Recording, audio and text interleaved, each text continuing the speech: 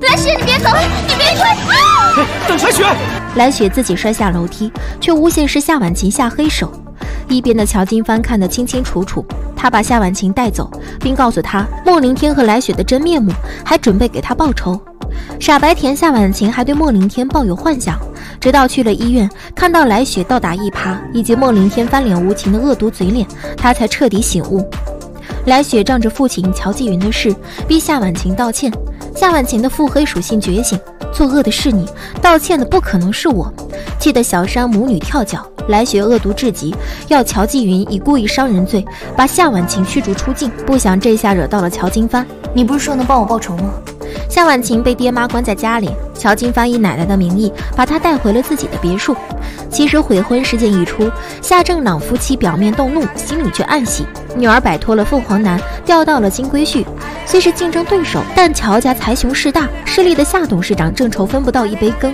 在外人眼里，乔金帆是纨绔子弟，乔老太却很清楚，孙子比儿子精明千倍万倍。乔静云庸碌无为，被小山母女拿捏。孙子乔金帆才是乔氏的顶梁柱，心疼夏婉晴被欺负，乔金帆早就想好了法子给她报仇。乔老太全力配合，乔氏召开董事大会，叛徒莫凌天推着断腿的来雪来了，仗着有乔静云撑腰，来雪一副继承人的样子，嘴上装小白兔，来乔家不是为了分家产，只是为了跟亲爹相认。乔老太笑了，宣布来雪永远没有继承权，你们母子想挤进来，永远不可能。我孙子跟我儿媳才是乔氏的主人。奶奶，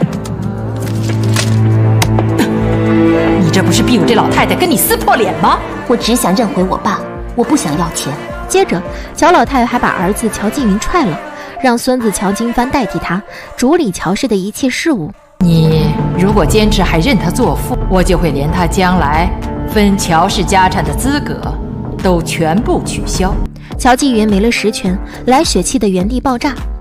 好戏还在后头。乔金帆叫来一大票媒体，夏婉晴穿着高定礼服裙，盛装出席。麻烦各位好好的记一下我今天所说的每一个字。如果发现谁写错或写漏，我明天就会把他的杂志社买下来，炒你的鱿鱼。乔金帆当场给他证明，表示接吻照是自己强吻夏婉晴拍下的，强调自己当时表白被他当场拒绝了。在记者面前，乔金帆揭穿了莫林天和来雪的真面目，一对狗男女早就珠胎暗结，还利用肚中的野种嫁祸夏婉晴。这话一出，舆论哗然，自然解除了夏婉晴的罪名，来雪再也不能诬告他。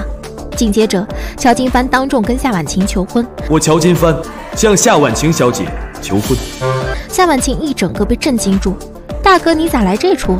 莫林天和来雪肺都气炸了，一个劲儿阻止他答应求婚。夏婉晴，你是真的想要把我搞死？你一定要赔上自己的名誉来报复我，对吗？因为乔金帆太无敌了，一旦夏婉晴跟他在一起，十个莫凌天和来雪都斗不过。夏婉晴露出坏笑，紧靠乔金帆怀中。